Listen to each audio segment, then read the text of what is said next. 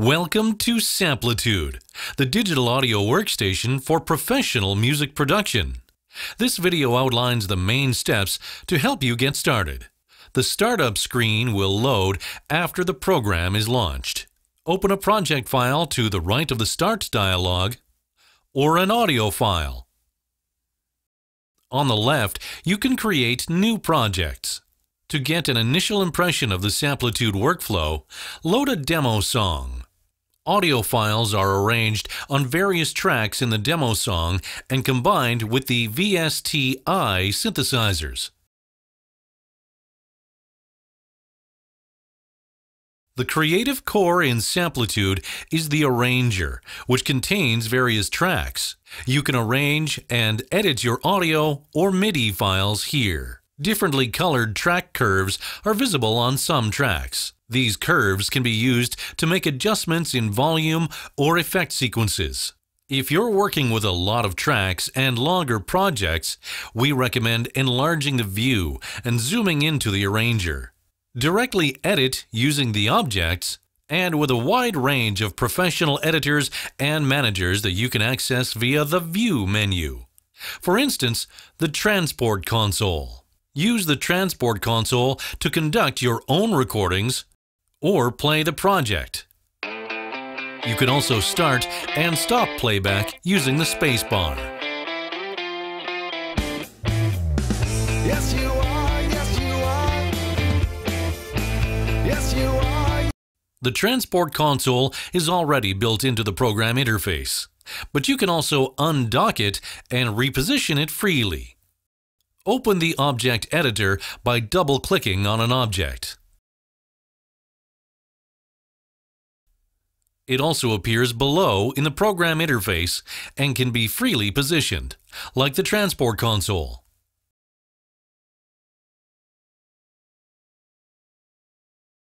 The Object Editor offers individual editing functions for each object. For instance, effect plugins, a four-band parametric equalizer, fade in or fade out, and time stretching or pitch shifting. Samplitude is renowned for its object-based operation. You can cut any audio file into a number of objects by selecting the file, moving the playback marker to the cut position, and pressing the T key on the keyboard. This creates two independent objects that can be moved freely and can be edited using separate object editor settings.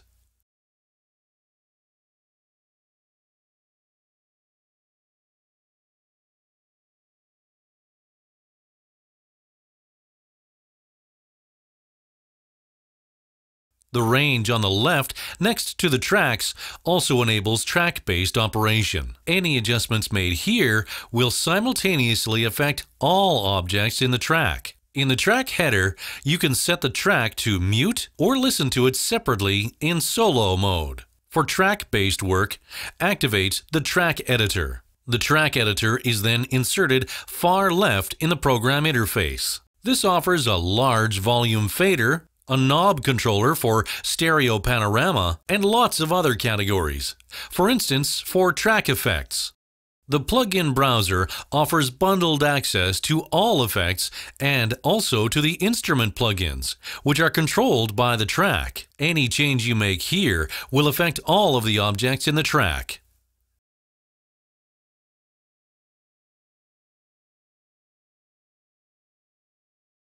Samplitude contains a complex mixer interface for mixing the overall sound. This process is referred to as mixing. In principle, the mixer functions in the same way as a professional studio mixing console, but includes many additional options. Here you can view your tracks as individual channel strips again. In the channel strips, you can also access the track effects that you've already seen in the track editor. In the mixer, you can combine several tracks into subgroups and set up complex routing arrangements. On the right, in the Master section, the mixer offers additional editing options for the overall mix. If you right-click on a control element in a track, in most places, a context menu editor will open, with which you can define more precise settings. For instance, the Master Equalizer.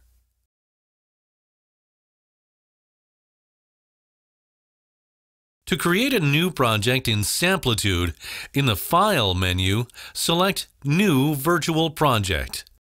Give your project a name, select how many tracks you need, and click OK. A new empty project will be created. To adjust your audio system, open the System settings. Use the Y key to do this. Select your sound card's ASIO driver as a driver system where possible. The MAGIX low latency driver is also a good alternative. Your MIDI keyboard should be selected in the MIDI tab. Check the other settings if necessary, and then close the dialog again.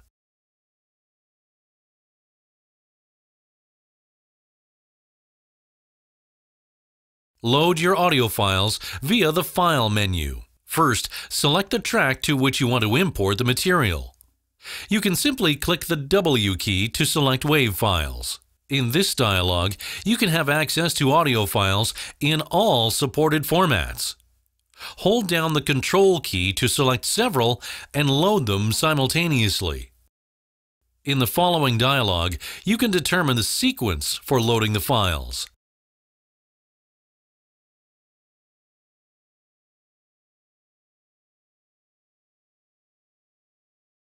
As well as audio files, you can use MIDI files and use them to control the VST instruments included in the program. To do so, first select a track for controlling the VST-I. You can load the VST instrument to the track header via the plug-in slot. If you have a keyboard connected to your PC, you can now play the VST-I and adjust it.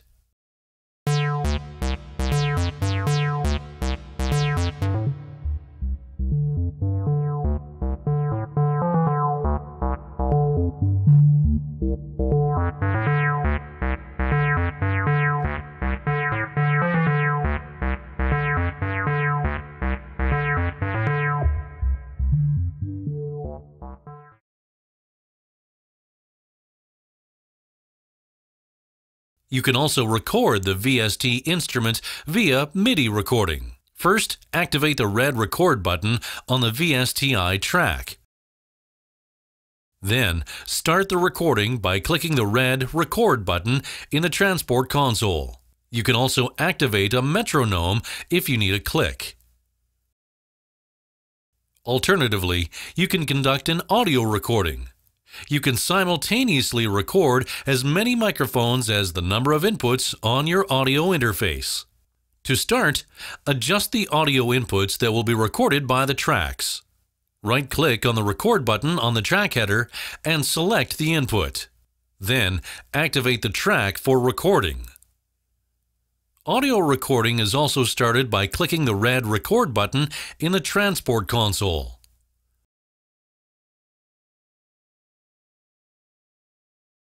Once your project is finished, you can burn an audio CD or DVD in the CD-DVD menu, or export your project in different formats in the File menu.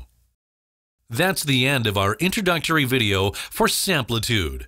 We have only outlined the essential steps for the first-time users. There is a whole range of further options for editing and arranging audio and MIDI data waiting to be explored. We hope you enjoy using your new software.